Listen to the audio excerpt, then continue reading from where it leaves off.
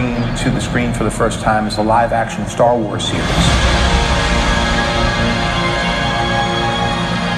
It takes place about five years after the Return of the Jedi.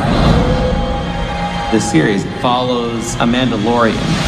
This new character is a gunfighter, a bounty hunter, a citizen of the underworld on the outer reaches of the galaxy. It starts off with him just hunting down quarries, making his money. This is a character you've never met before in a period of time that you've never seen. There's just an aesthetic to The Mandalorian that is extremely powerful, mysterious. This armor that harkens to medieval knights.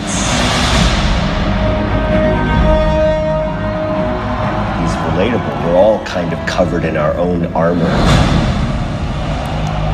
Here we are, day three. Start a little bit back and then move into that position. In terms of the directors, I think Jon chose the team really, really well. Here we go. Obviously, Dave, Bryce, Deborah, Rick, and then Taika. wanted the different voices and personalities that each of the filmmakers were bringing to the table and wanted to bring that to the world of Star Wars. Everybody's point of view is sort of involved in the story.